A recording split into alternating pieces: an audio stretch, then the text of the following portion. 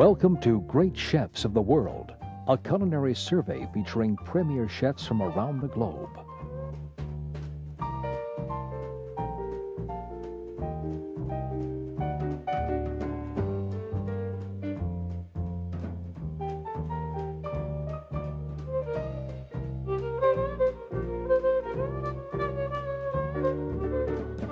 The appetizer this time comes from Vienna, Austria.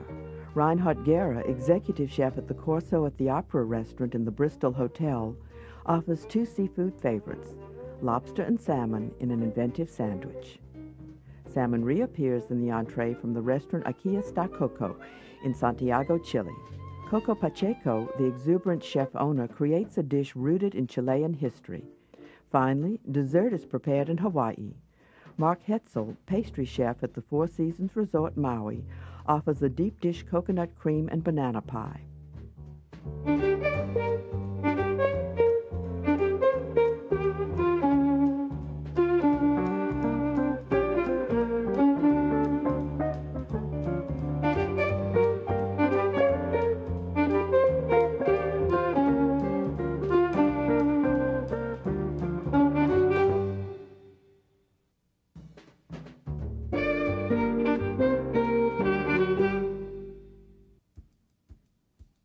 In Vienna's first district, the 100 plus year old Hotel Bristol offers fine dining at the Corso at the Opera restaurant.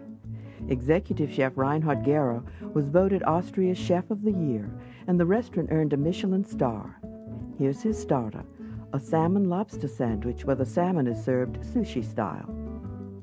Wir Hummer circa zwei Minuten, ein bis A medium sized lobster is boiled in water seasoned with sea salt, fresh dill, and whole caraway seeds for one to three minutes. frische Dille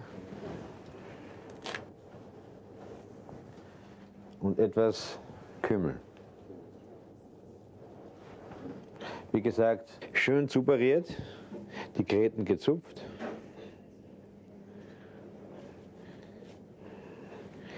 Wir schneiden jetzt noch die letzten Berühren weg.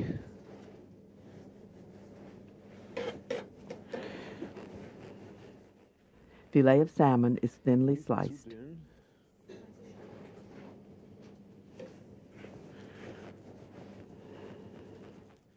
Japanese gourmets reportedly have a high regard for Chef Gehrer's cuisine.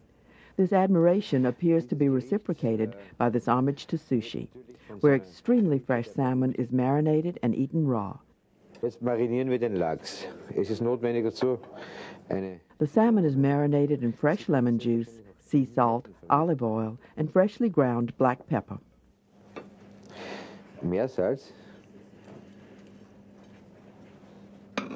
und kalt gepresstes Olivenöl.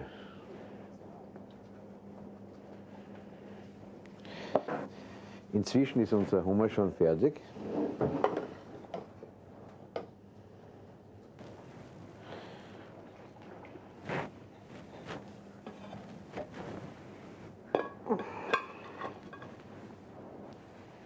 Okay, wir brechen jetzt den Hummer aus. Wir trennen zuerst The lobster is broken apart, with the meat from the claws reserved for presentation.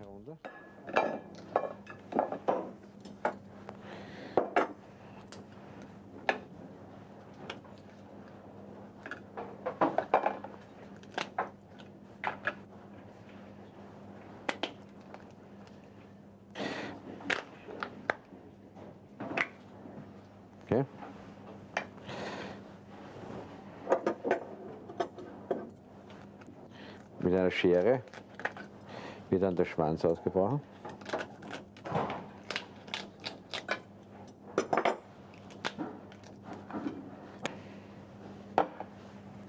Und nun wird der Hummer geschnitten. Es ist wichtig, dass der Hummer noch etwas glasig ist. Ja? Man sieht das hier ganz genau. The lobster should have a glassy look. It is then chopped into a tartare.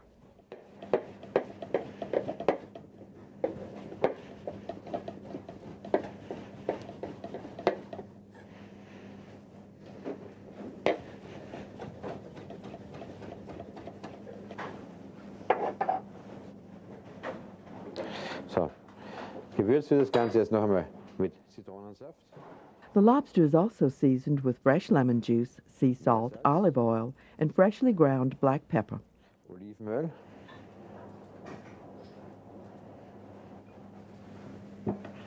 Und schwarzen Pfeffer.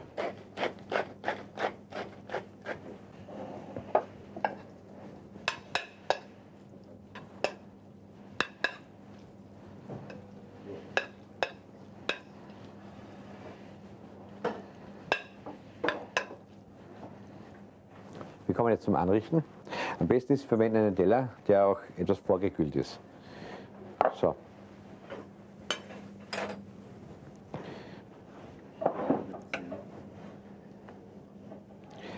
Den Lachs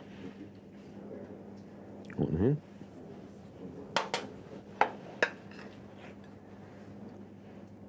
Das Hummer da, da drauf.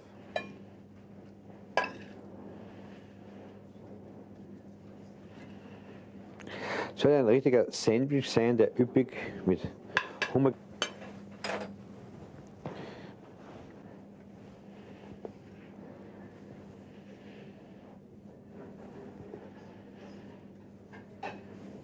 Und hier haben wir Tomatensaft gepressen. Frisch gepressen. Fresh tomato juice is drizzled on the salmon lobster sandwich.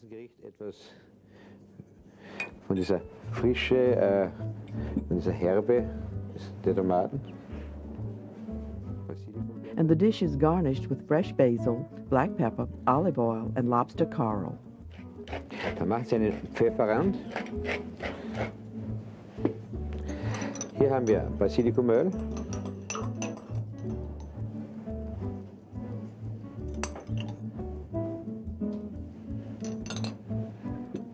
Und das hier ist das Hummerkarei.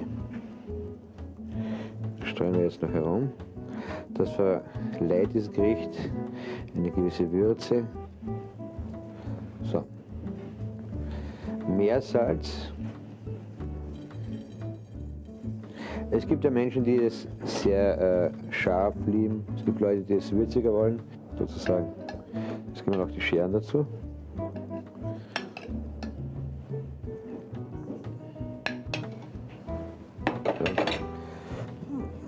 Einige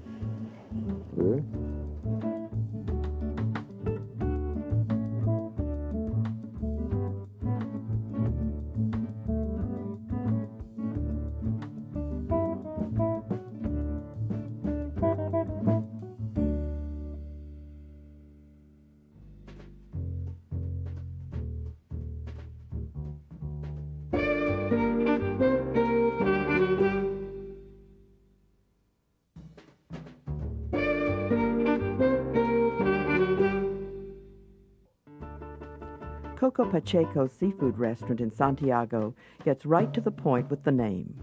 The ebullient owner chef's personality pervades the operation. He's written cookbooks and also teaches cooking classes in a small studio behind the restaurant. His entree is a stuffed salmon cooked over an open fire. For this demonstration, Silviana Echevers will translate for the chef. Recién sacado. Nova. Um, this is uh, concato fish on fire. This is a prehistorical dish. Uh, it's been prepared for many years. And sometimes, Sacar la cabeza. first thing you take off the head. Esto es para el gato. Miau. That's for the cat. The fillets are removed, trimmed with the skin left on. Mm, qué belleza. Beautiful, beautiful the color. Vamos a sacar el estómago, que es la parte donde se junta más grasa. The stomach is the, the belly. That's the greasy part of the salmon. After the belly fat has been removed, pin bones are extracted. These small bones are best removed with needle nose pliers. Your finger will tell you where the spine is. Muevo y tiro. You move it and pull it Hay que tirar out of the fish. hacia donde está la veta del pescado, es decir, Forward. la dirección Pull de la carne. Nunca al revés, porque si no quebraría la espina, le quedaría la espina adentro. The fillets are put onto a hinged folding grill and the salmon is sprinkled with lemon juice. Pimienta y sal. Then it's seasoned with pepper and shown here Hawaiian salt, which picks up the color of Hawaiian clay. Sales de Hawái. He brought it from Hawaii. Fantástico. The first stuffing ingredient is sausage from South Chile. Y que sean de buena calidad. Very thinly sliced, good quality. Esto es como va a ser una pizza. This is like cooking a pizza.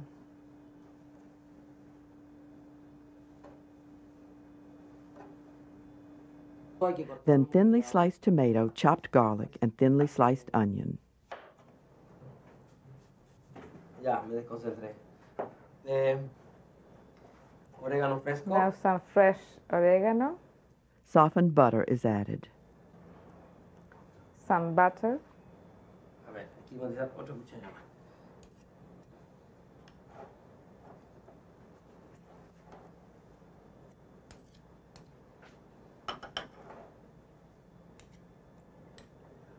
Finally, a soft cheese similar to mozzarella is added.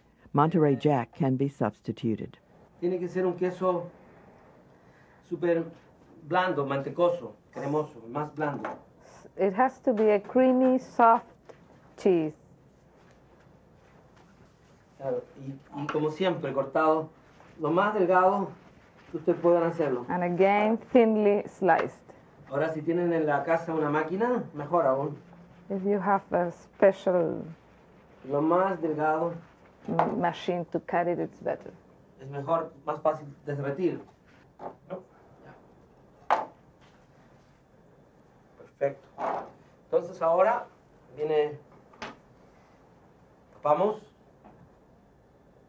Now the, we put the other side on it. hay que tapar aquí. Now the worst part of the recipe, sewing the halves together with cooking string. A ver, a lo mejor no lo hacemos nada. Si sigue duro, esto mejor cambiar y A ver. para no complicar a la gente. I'm going to see if it's uh, easy to side. If, if, if it's too hard, we're not going to do it. Eh, eh, no por acá, sino voy por aquí. We're trying, we'll try to take only the flesh of it, Mm. not the, the skin. The skin is too hard. Es que la receta dice que hay que cocer. The recipe says that you have to saw it. That's why I'm trying to do it.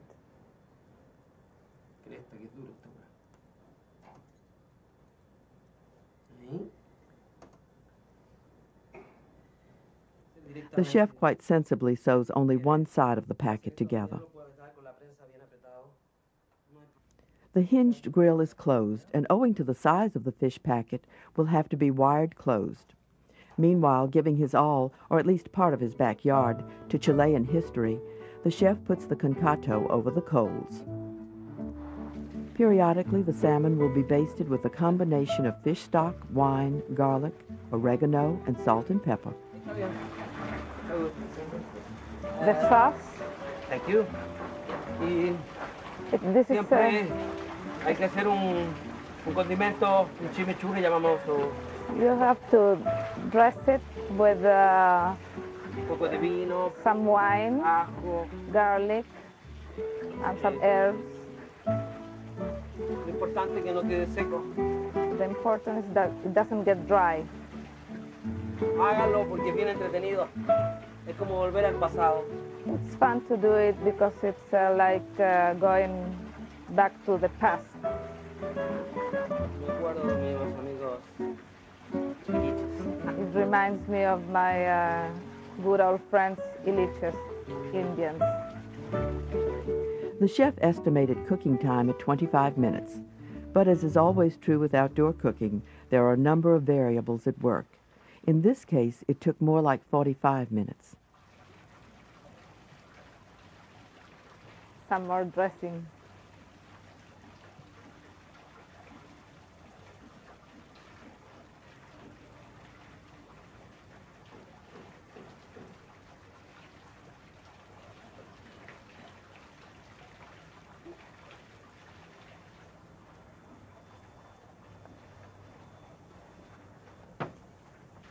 Cooking is accelerated with that precise cooking tool, a hammer. Lower a little bit to, to get it.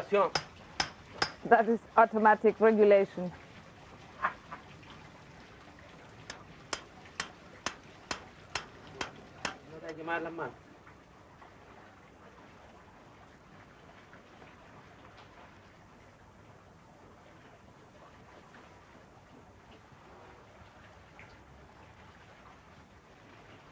Siempre cuando está listo, el queso empieza a, a chorrear.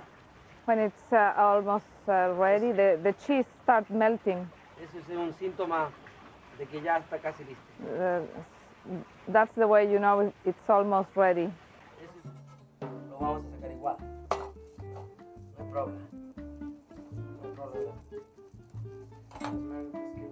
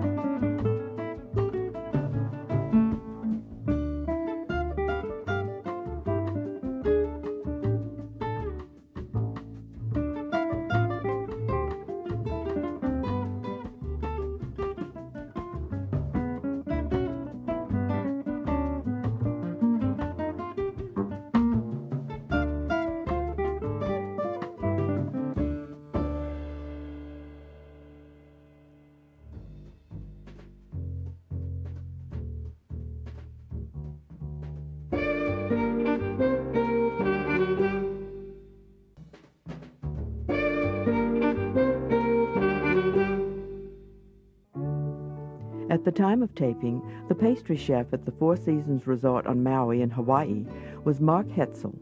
He's a CIA graduate who went on to further pastry work in Paris, then to the Four Seasons Inn on the Park in Houston. Here's his good looking deep dish coconut cream banana pie, featuring peanut nougat and chocolate coated bananas.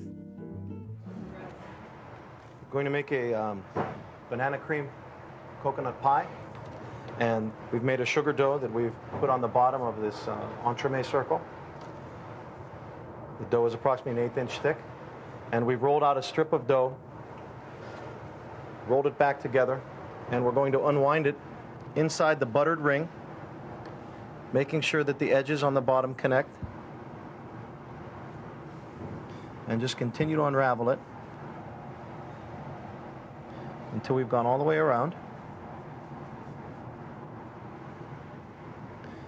We're going to gently push down to make a good seal. Being careful not to press the sides very hard because we don't want to make them too thin. If we run short, we can cut an extra piece and just simply connect that in. Bake at 350 until golden brown. After the shell is cooled, it's coated with melted chocolate. After the shell is baked, we're going to brush the inside with melted chocolate.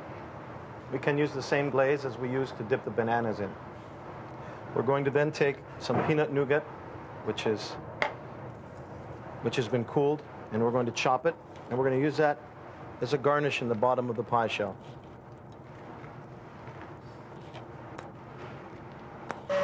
One of the two fillings is a caramel cream made by combining caramelized sugar with sweet beaten egg whites. When the caramel reaches the proper temperature, we're going to slowly pour it into the whipping egg whites.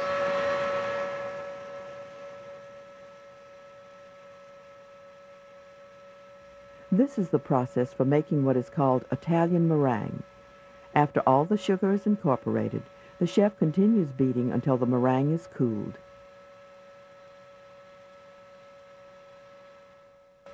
A second component for the caramel cream involves combining beaten egg yolks with a sugar water syrup. We're going to, as in the first step, pour it into the whipping egg yolks.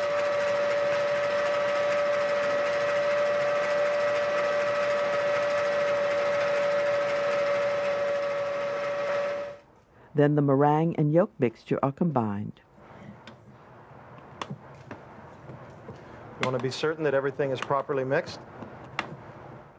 After incorporation, it is added to whipped cream.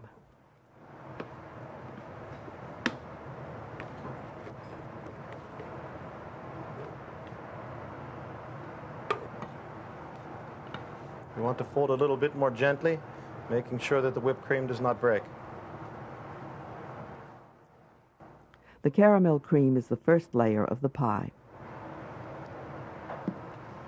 We'll fill the shell about halfway. The coconut cream is started with heavy whipping cream. To it will be added a coconut syrup, which is used to hydrate gelatin leaves. Also, flaked fresh coconut and coconut milk are added. The mixture is incorporated. We will then pour this on top of our first layer.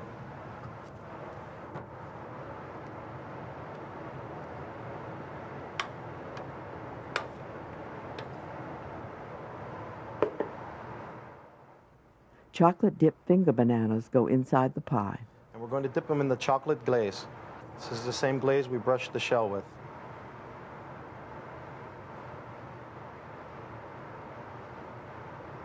Let them drain slightly and leave them to cool. For the next step, we're going to take the bananas and place them into the center of the pie.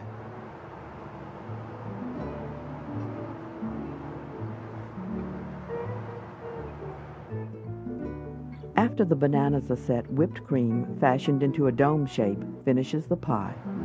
Can make the whipped cream into a dome, and then with a spatula, we can garnish the top of the pie as such. Chill the pie for three to four hours. For our final step, we'll top the rest with the more of the peanut nougat.